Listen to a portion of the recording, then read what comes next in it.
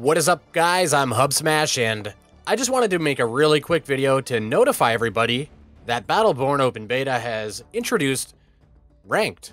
So it's the Ranked matchmaking in the Versus playlist. And the way that this works is it will queue you up using ELO or MMR in the background, and it will queue you up with a group of teammates that are of similar ELO, and then it will average out your elo and try to match you with another team that's got a similar elo to yours. It is all in the background right now. They're just doing it to test out the um, the formulas and the matchmaking and all of that. So give it some time.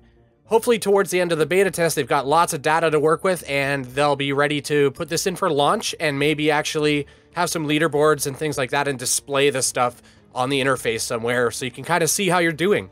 I just wanted to make this again just to show people that it's there. Try to push for people to test it out.